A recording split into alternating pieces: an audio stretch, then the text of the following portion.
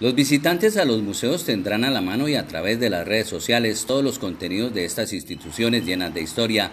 y exposición de objetos culturales importantes.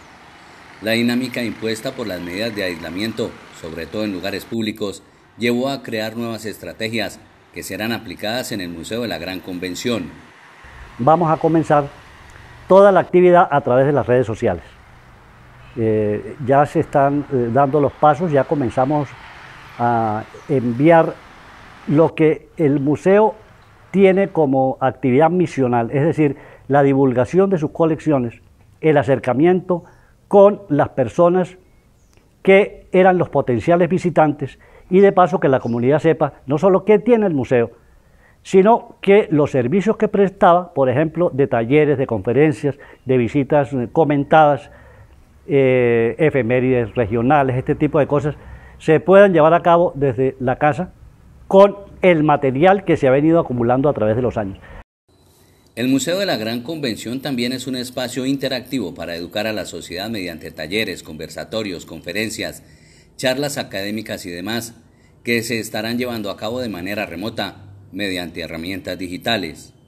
Si las estrategias es utilizar todas las redes sociales, Twitter, el canal de YouTube, en Facebook hay dos páginas del Museo de la Gran Convención de Ocaña, y los grupos que son de artistas y escritores que tiene la Academia de Historia de Ocaña. También en el blog de la Academia se van a estar subiendo permanentemente actividades o reseñas históricas del museo y como manejamos patrimonio y manejamos historiografía, pues también ahí se estarán dando pautas sobre eh, la historia de Ocaña, aprovechando la coyuntura que 2020 es el año de la ocañeridad cuando la ciudad está cumpliendo 450 años de historia. Mediante esta estrategia el Museo de la Gran Convención se globaliza, ampliando su cobertura más allá de los asiduos visitantes presenciales. Porque cuando el museo estaba abierto normalmente y las personas podían asistir a las conferencias, a las exposiciones, a los viernes de la cultura, lecturas de música, de, perdón, lecturas eh, o cañeras,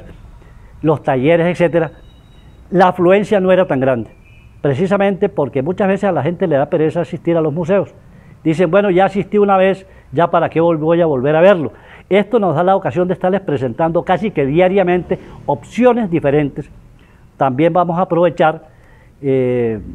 digamos, eh, el sistema de Zoom o el Facebook Live para estar dictando conferencias, charlas, conversatorios y hacer que la gente participe dentro de eso.